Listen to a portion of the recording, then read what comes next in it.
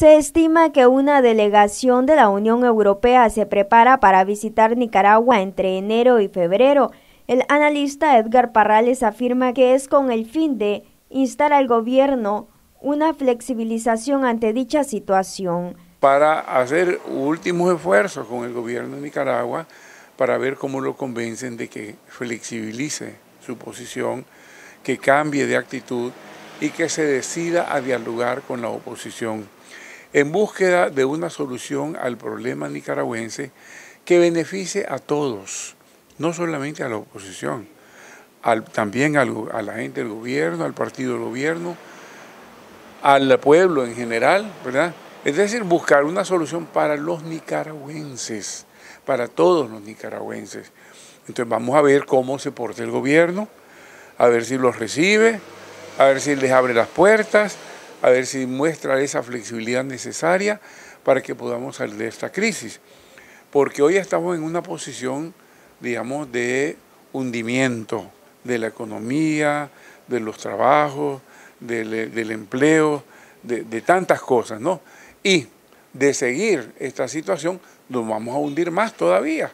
Y ahí en ese contexto es que se explica, pues digamos que los europeos, a pesar de que aprobaron las sanciones, quieren venir a hacer un último esfuerzo y que el gobierno, aun cuando ya ha, emitido, digamos, en tres ocasiones sanciones a personeros del gobierno, están todavía pendientes de aplicar otras más fuertes, más severas, pero siempre dispuestos y abiertos a dialogar, a que el gobierno abra las puertas a la oposición nicaragüense con presencia de testigos internacionales, de observadores verdaderamente internacionales y que eh, se decidan a aceptar una flexibilización de la situación y aceptar el camino, la ruta de la democracia, porque no hay otra salida, ¿verdad?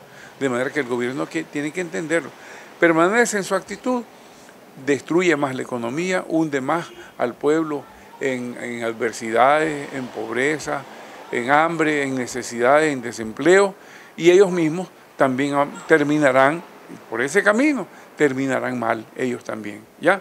De manera que cambiar de ruta es para beneficio de todos, de todos los nicaragüenses. Ahora, a su juicio, ¿usted cree que el gobierno dé eh, el visto bueno para que la delegación europea retorne al país? Mira, si son sensatos, si en algún momento se revisten de ánimo prudente, ¿verdad? Y ven las cosas con más racionalidad, y con menos este, eh, actitudes, digamos, machistas, ¿verdad? empecinadas, y dejen de pensar aquello de que estamos haciéndole resistencia al imperialismo, ¿verdad? y que se crean que ellos van a ser el tercer líder de la lucha contra el imperialismo después de Benjamín Celedón y después de Augusto Sandino, que se olvide de eso, que piense más en una forma más sensata, en una forma más comedida y que abra las puertas de la mente, del corazón y del país para que encontremos la solución a los problemas de Nicaragua.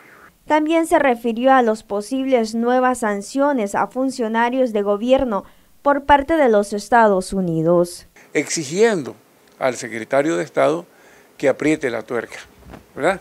Que, que haga una mayor presión, que vengan más sanciones, tanto para los ya sancionados como para otras personas que están en lista de espera y que incrementen también la intensidad de las sanciones. Todo en mira pues a ver cómo el gobierno de Nicaragua eh, cesa pues de, su cerrazón, su, su, actitud obtusa y definitivamente piensa en una forma racional, piensa en el futuro de los nicaragüenses.